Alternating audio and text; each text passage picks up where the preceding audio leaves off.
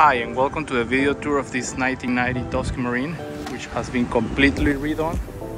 As you can see it has brand new engines on it, 2017. All the inside was done. There's no bottom paint on this boat. Just put all the weight. Now let's jump inside and see how it looks inside.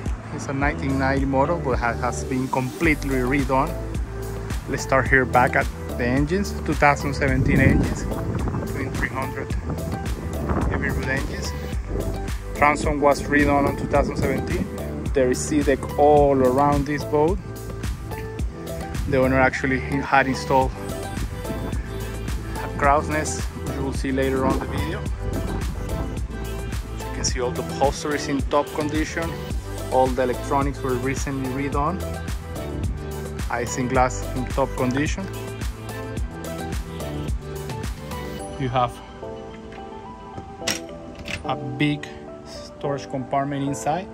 This middle piece of the flooring can be taken out and installed ahead if you like. All of your accessory switches are easy to access. As we continue to move forward, one step up, a nice flat area, big fish box in the middle. Everything SeaDek all around. Super solid boat. If you have any questions about this boat, feel free to reach out. I hope you have enjoyed the tour and have a great day.